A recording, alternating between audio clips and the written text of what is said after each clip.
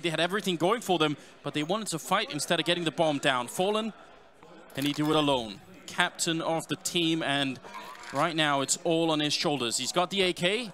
They're already on the train. Does he realize he's in a very dangerous position here? Looking for the shot, and Kjaerbye gets the perfect timing.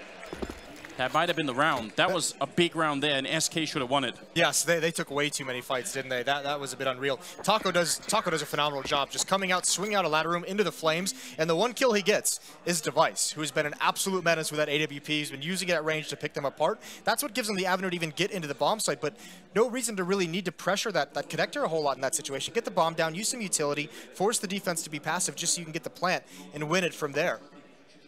Fallen even with a chance in the one-on-two, but just the timing of those peeks was was incredible between Kjaerbye and Xyp9x.